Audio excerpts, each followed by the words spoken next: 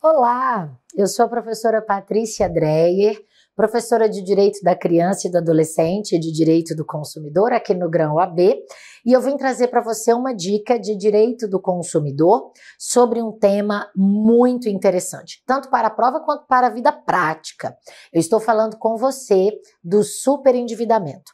Nós bem sabemos que mais de 70% das famílias brasileiras estão superendividadas. Isso quer dizer que nós estamos comprometidos no mínimo existencial: moradia, alimentação, lazer, transporte, educação e saúde. Eu costumo dizer maltes, para você lembrar qual é esse mínimo existencial.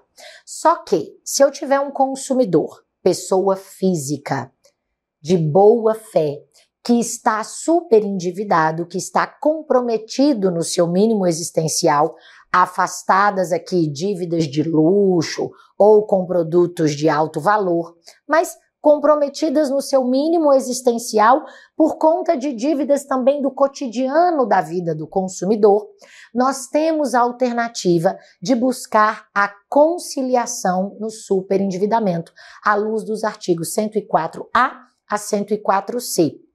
Lembrando que o consumidor superendividado está conceituado no artigo 54A do Código de Defesa do Consumidor.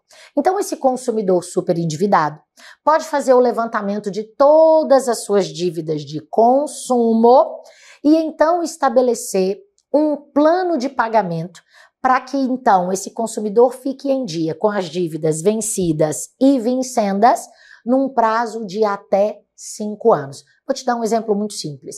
O consumidor está com uma dívida gigantesca no cartão de crédito, não está conseguindo pôr em ordem. E isso está comprometendo as outras dívidas de consumo: água, luz, telefone, plano de saúde, supermercado, empréstimo no banco e assim por diante. Dívidas de consumo.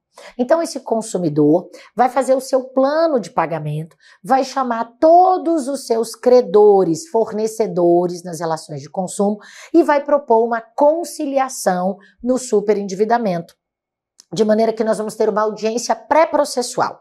E aí nós vamos tentar estabelecer um ajuste para que esse consumidor, no prazo de até cinco anos, como te disse, coloque as suas dívidas em dia. E aí você vai me perguntar, mas Patrícia, você acha mesmo que o bancão gigante, poderosíssimo, vai comparecer nessa audiência? Vai. Porque o Código de Defesa do Consumidor diz que o fornecedor que não comparecer, primeira coisa, sofrerá a. Suspensão da exigibilidade do débito, interrupção dos encargos da mora, e se o que o, o que o consumidor dever a ele for líquido, certo, e a gente já conseguir calcular o valor, então a gente já coloca esse débito no plano de pagamento e este fornecedor vai para o final da fila, ele vai ser um dos últimos credores a receber. De modo que é bem interessante que todos os fornecedores compareçam. E se não houver acordo, se não houver conciliação quanto ao superendividamento, então nós vamos instaurar um processo judicial em que será possível a revisão dos contratos, a repactuação das dívidas e aí nós vamos ter um plano judicial compulsório. Lembrando que a decisão do juiz é um título executivo judicial. Gostou dessa dica? Deixa aí o seu like.